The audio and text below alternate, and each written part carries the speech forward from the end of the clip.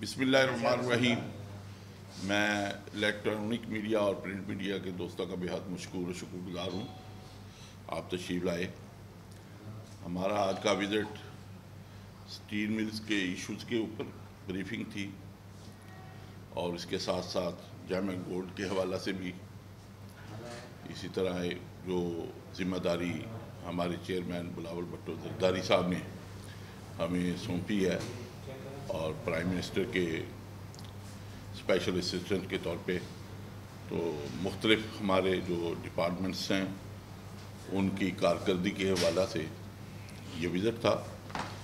तो सबसे पहले तो जो स्टील मिल के हवाला से मुख्तसर बात करूँगा, जो कि 2015 से मुकम्मल तौर पर बंद है तो उसकी बहाली के लिए एक हमने आज ब्रीफिंग दी है कि उसको कैसे बहाल कर सकते हैं ताकि वो अपनी प्रोडक्शन शुरू कर सकें। उसमें मुफसल तौर पे जो समझ में आया है हमें, जो हमने फाइनल रिजल्ट्स निकाले, जो हम प्राइम मिनिस्टर को ब्रीफिंग में करके देंगे तो इन कोशिश हमारी ये होगी कि ये एक एसेट है, बहुत बड़ा एसेट है पाकिस्तान का। इसको चलना चाहिए। उसके लिए जो इकदाम हैं, जो ज़रूरी इकदाम हैं वो चूँकि प्राइम मिनिस्टर ने ही करने हैं और मिनिस्ट्री उसमें सिफारशात कर सकती है तो इन उम्मीद है कि इन हम इस स्टील मिल को रनिंग पोजीशन में लेके आएँगे। दूसरा, आज की जो ब्रीफिंग थी जैमन गोल्ड के हवाला से तो चूँकि एक, ये भी एक बहुत बड़ा फ़ील्ड है और जो एक्सपोर्ट्स हैं पिछले साल के अंदर जो हुई हैं वो बहुत कम है, क्योंकि महँगाई भी है लोगों की अप्रोच पूरी दुनिया के अंदर जो है सख्त कम है तो एक्सपोर्ट के ऊपर काफ़ी डिप्रेस हुई हैं। तो कोशिश हमारी भी होगी यही कि जो हमारी एक्सपोर्ट जितनी बढ़ेगी, उससे मैं समझता हूँ ज़र मुबादला में आएगा और हम उसमें कुछ बेहतर हालात में काम कर सकेंगे। तो इसलिए आज जो ब्रीफिंग थी, वो मुकम्मल हुई है मेरे साथ, मेरी मुआवनत के लिए।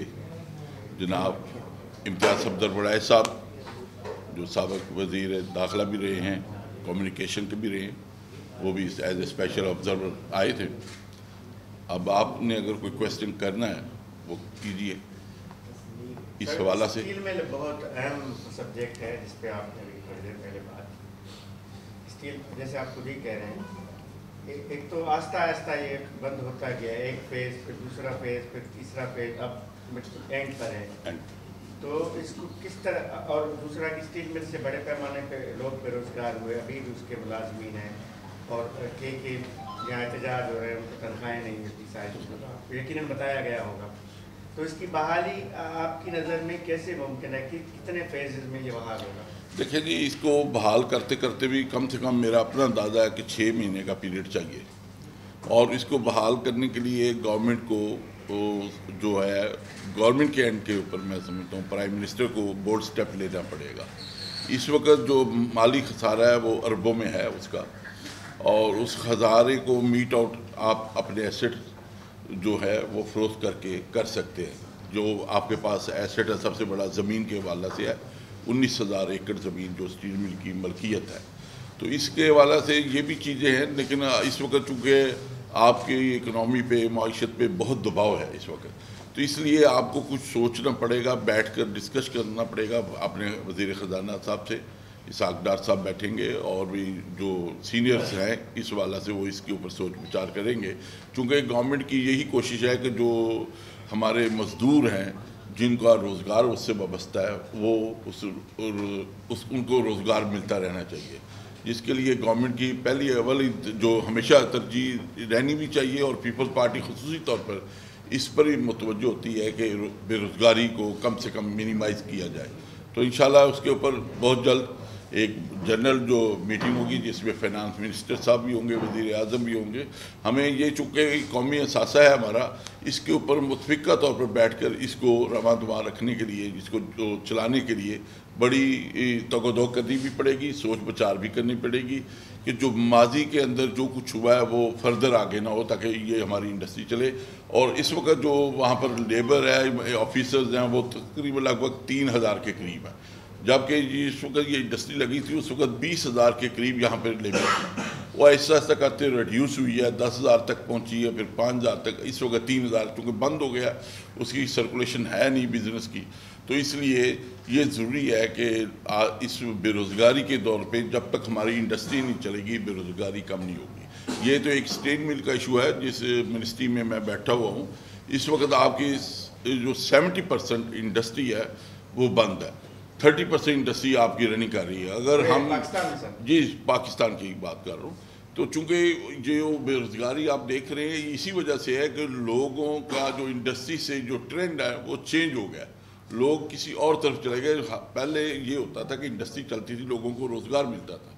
कोई मजदूर होता था, कोई ऑफिसर होता, कोई अकाउंटेंट होता, लोग। अब चूँकि वो इंडस्ट्री बंद होने की वजह से बेरोज़गारी ज़्यादा तेज़ी के साथ हुई, चूँकि अब लाजमी बात है, जब लोगों को हम मोटिवेट करते हैं, कहते हैं कि जी आएँगे इंडस्ट्री लगाएँ तो वो माहौल भी चाहते हैं कोई इंडस्ट्री वाला उनको मिले। वो उसके ऊपर हम सोच विचार कर रहे हैं, लोगों से मशरा कर रहे हैं चैम्बर्स में मीटिंग कर रहे हैं कि आप हमें मशरा दें, आप हमारे साथ बैठें। कैसे हम ये चीज़ें जो है, इन हालात के अंदर जबकि बहुत क्राइसिस है कि हम इंडस्ट्री को खड़ा कर सकें, इन लोगों को इंसेंटिव दे सकें, लोगों को मोटिवेट दे सकें कि वो नई इंडस्ट्री की तरफ़ आए। क्योंकि इस वक्त लोगों को मैं समझता हूँ तरकीब देने की ज़रूरत है। जिनके पास, अल्लाह का दिया हुआ बहुत कुछ है, लेकिन उनके पास वो सोच नहीं है। वो लोग, लाजमी बात है कि माहौल चाहते हैं, वो माहौल क्रिएट करना पड़ेगा। ये बता दीजिए कि आपकी स्टील जो है गैस नहीं दे रही ना घरों में चूल्हे चले रहे ना इंडस्ट्री का पहिया चल रहा है। इस मिल को बहाल करने का से हाँ, हाँ, हाँ, मैं सबसे बड़ा इशू है एनर्जी का। बात बिल्कुल सवाल आपका बिल्कुल दुरुस्त है। तो इस वक्त सबसे बड़ा मैं मेरे नज़दीक जो मैं पहले भी वज़ी अजम साहब को भी कह बैठा हूँ अपनी मिनिस्ट्री में भी हमने बात की है डिस्कशन की है कि एनर्जी क्राइसिस को बीट आउट एक तरीके से आप कर सकते हैं इस वक्त। वो है आपका पाक ईरान लाइन पाइप गैस वो उसको करें छः सात महीने के अंदर आपके बॉर्डर के ऊपर पहुँचा हुआ है, वो आपको बोर्ड स्टेप लेने पड़ेंगे। आपने किसी के नखरे नहीं देखने, अपनी मजबूरियाँ हमने देखनी हैं। उसको सामने रखते हुए हमें फैसले सख्त से सख्त करेंगे। पीपल, पीपल्स पार्टी के दौर में 2012 में मुझे याद है, हम खुद इफ्तः करके आए थे, जनाब आसफ अली साहब, प्रेसिडेंट पाकिस्तान थे। हम सब गए थे, वो पाइप लाइन तकरीबन 1100 और 1200 किलोमीटर वहाँ जहाँ से चली है बॉर्डर के ऊपर आके। फिर गवर्नमेंट मियाँ साहब आ गए तो शायद वो फैसला ना कर सके, कई मजबूरियाँ होंगी, लेकिन इसके ऊपर हमने अब मजबूरियों को छोड़कर, अगर हमने सर्वाइव करना है तो हमें बोर्ड स्टेप लेने पड़ेंगे, और मैं अपने वज़ीर अजम से भी गुजारिश करूँगा, अपनी पार्टी की क्यादत से भी करूँगा, कि ये बोल्ड स्टेप हमें सबको इकट्ठा करके लेना चाहिए, और पाइपलाइन को स्टार्ट करके ये एनर्जी क्राइसिस हमारे मीट आउट हो सके। हमें बिजली भी उससे मिलेगी हमें गैस भी मिलेगी। ईरान गैस पाइपलाइन की आप बात कर रहे हैं। अंदर है हम सब। हमारा कोई इस पर डिस्प्यूट नहीं है लेकिन इन चीज़ों को बैठ कर सेटल करना पड़ेगा। वज़ीर अजम तमाम सूबों के जो वज़ीर अजम हैं उनको बुलाए। उनको अपनी तकलीफ़ बताएँ कि मुल्क के जो मसाइल है, वो सबको पता है, लेकिन अब हल निकाल है उसके लिए ज़मीन अगर फरोख्त भी करनी पड़नी है तो किसी की कंसेंट से, किसी को नाराज़ करके हम ये काम नहीं कर सकते। तो इसलिए तमाम सूबों के जो हमारे चीफ हैं चीफ मिनिस्टर्स हैं, वो बैठेंगे इन कोई ना कोई हल निकालेंगे। सर इंडस्ट्रीज़ को गैस नहीं मिलेगी ऐसे से भी आप बात करेंगे? कि सनतों का परिवार चलाने के लिए गैस उनको मुहैया करें उसमें एक्सपोर्ट जो है वो नीचे जा रही है। आपकी बात को मैंने दो लफ्ज़ पहले ही कह दिया कि गैस वाकई नहीं है। शॉर्टेज आपने खुद ही बताया ये इधर ही नहीं है पंजाब के अंदर भी यही पोजीशन है। जब तक वो पाइप लाइन लिंक नहीं करेगी चालू नहीं होगी स्टार्ट नहीं करेंगे उस वक्त तक आपकी ये प्रॉब्लम रहने रहना है। तो ये ये छः महीने का टाइम होगा अगर वो कर, करना चाहें तो छः महीने के अंदर मुकम्मल हो जाएगा। और गैस की जो आपकी नेक्स्ट ईयर है आपको गैस मिलेगी।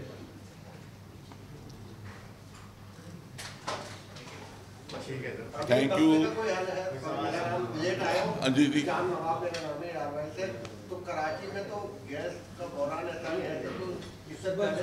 भाई, गैस का बुरान हर जगह पे है। देखिए यहाँ पे, मैं यही अर्ज़ कर रहा हूँ, ठीक है, यहाँ पे भी है, हर जगह, पूरे पाकिस्तान में गैस का है, सिर्फ़ हल एक ही है। और उसमें आपका जो हल है, वो मैंने बता दिया, जब तक वो पाइपलाइन आप नहीं लगाएँगे, उसको नहीं स्टार्ट करेंगे, उस वक्त तक ये आपका क्राइसिस कम नहीं होगा, बढ़ेगा। बस, इतनी बात। हाँ जी जी। ये बताइए कि महँगाई, आवाम परेशान है किसी को आवाम की बिल्कुल तवज्जो नहीं आपस में सियासतदान लगे हुए क्योंकि उनके तो बच्चे भी माशाल्लाह सुभान अल्लाह बाहर पढ़ते सारी चीज़ें और आवाम परेशान है। हज़ार रुपए बच्चे को तो, तो कौन ऐसे सौदा भी आधा नहीं आता सब्ज़ी में थैली में भी एक एक किलो आता है इतनी महँगाई महँगाई पे कंट्रोल कोई नहीं कर रहा ना वफाक ना तुम्हें आपस में इस इसमें बात आपकी बिल्कुल दुरुस्त है इसमें कोई शक नहीं है महँगाई बहुत हो चुकी है लोग मसलों मसाइल में फंसे हुए हैं बेरोज़गारी बढ़ी हुई है। इन चीज़ों का हल सिर्फ़ एक ही है, तमाम सियासतदान। मुल्क का सोचें, बैठें, बात करें, इकतदार अनजन चीज़ है, इसमें ना पड़ें और इन मैं कहता हूँ, जब आप बैठेंगे टेबल के ऊपर तो मसाइल का हल निकलेंगे। अगर इमरान खान यही कहता है इलेक्शन का, इलेक्शन ये हल तो नहीं है बेरोज़गारी का, जो अपना टेनोर है, पार्लियामेंट को पूरा करना चाहिए, और पार्लियामेंट अपना टाइम पूरा करेगी आवाम के पास चॉइस होगी, अपना वो करेगी लेकिन इस वक्त जो बैठ कर अपोजिशन को अपना किरदार अदा करना चाहिए, इसमें भी कोई शक नहीं है कि गवर्नमेंट में शामिल हो गए। लेकिन बैठ कर हमत अमली के साथ पाकिस्तान के अवाम की बेहतरी के लिए हमें सोचना चाहिए। अगर अपोजिशन में भी हैं तो बेहतरी सोचनी चाहिए गवर्नमेंट में बेहतरी सोचेंगे। और इन जो आईएमएफ के साथ आपकी निगोशिएशन दोबारा शुरू हुई हैं इन आपको दिसंबर के बाद बेहतर हालात मिलेंगे। महँगाई के ऊपर कमी आएगी। थैंक यू जी। शुक्रिया जी। शुक्रिया। चाय